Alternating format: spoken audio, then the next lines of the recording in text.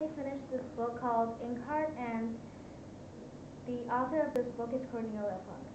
The genre of this is fantasy, and I have read other books by this author, like the um, Thief Lord and Dragon Rider.